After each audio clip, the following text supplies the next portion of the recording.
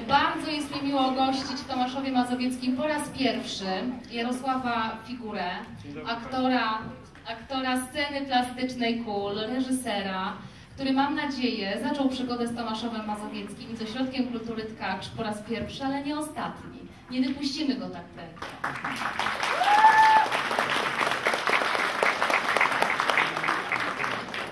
Dzień dobry Państwu.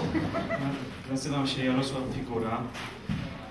Jestem w Tomaszowie po raz trzeci i powiem na początek to, że pracowałem przez 22 lata w teatrze profesjonalnym na całym świecie i od kilku lat pracuję także z dziećmi.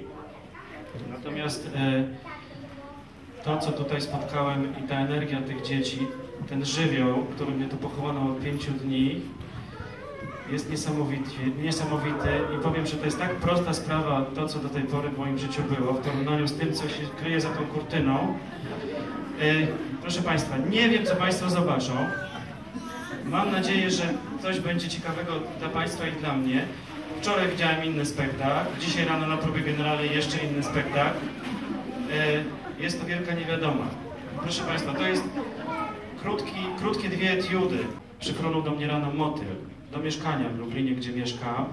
I tak przez 15 minut rano na niego patrzyłem, zaczął do mnie machać, w ogóle się nie bał. I tak sobie pomyślałem, no skoro tu przyfronowałeś, to pewnie chcesz, żeby o tobie zrobić spektakl. Spektakl jest oczywiście o człowieku i Państwo zaraz nie chcę opowiadać o czym zobaczą oczy, to jest właściwie impresja taka, natomiast e, brałem to w poetykę motyla, właściwie życie człowieka też jest takie, człowiek jest tak wrażliwy i to życie nie jest wcale aż tak długie i, i, i Mam nadzieję, że spodoba się Państwu co, to, co za chwilę tutaj zobaczymy.